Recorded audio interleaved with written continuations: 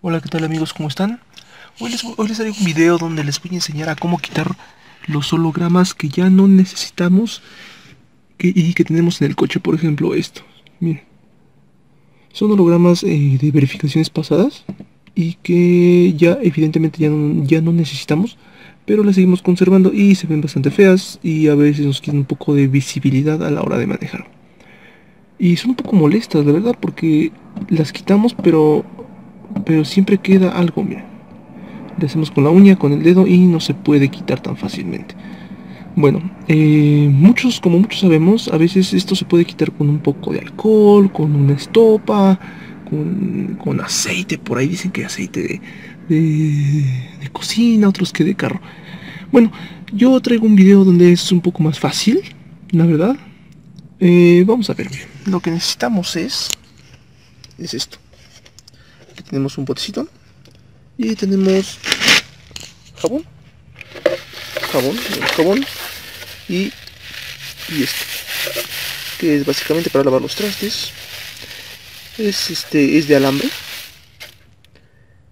Y tenemos un trapo. Este trapito. ¿qué vamos a hacer? bueno muy simple. Únicamente vamos a necesitar jabón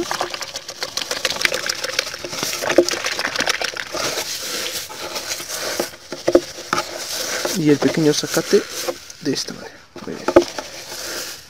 Lo que vamos a hacer va a ser lo siguiente, vamos a agarrar este y vamos a empezar a tallar. y otra vez. Limpiamos.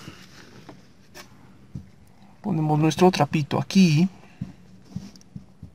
Únicamente para que para secarlo, para que no se vaya a mojar y nuevamente agarramos y tallamos.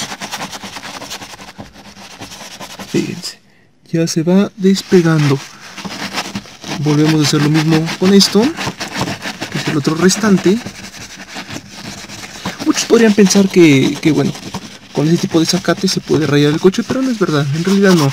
Ya lo probé y es muy seguro no se raya en lo más mínimo. Y ¡tan! se acabó es muy simple. Únicamente necesitamos un poco de jabón, este sacatito y ya. Ahora lo que procedemos a hacer, pues es secar. Agarramos el trapito, secamos muy bien, una y otra vez.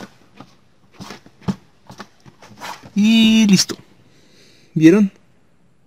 Ya no hay absolutamente nada y como se podrán dar cuenta, no está rayado en lo más mínimo. Aquí le ponemos las luces y podemos ver claramente en el vidrio que no está rayado. Aquí tenemos otras verificaciones, pero es lo de menos. Lo que podemos hacer es únicamente agarrar y quitarlo con el dedo.